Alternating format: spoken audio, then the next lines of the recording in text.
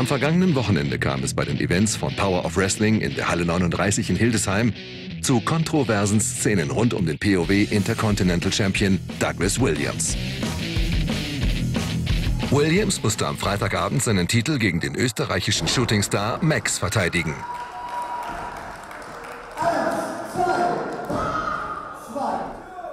In einem intensiven und ausgeglichenen Kampf fiel die Entscheidung schließlich in der sechsten Runde. Max konterte den englischen Ringfuchs aus und konnte sich mit dem Spear Tackle den Intercontinental-Titel sichern.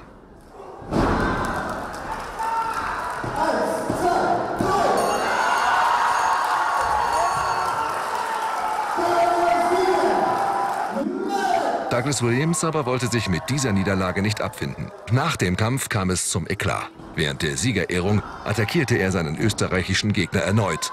Und als der sportliche Leiter von Power of Wrestling, Mr. Tony Sinclair, Williams von weiteren Angriffen abhalten wollte, verpasste der Ex-Champion der englischen Legende einen rechten Haken.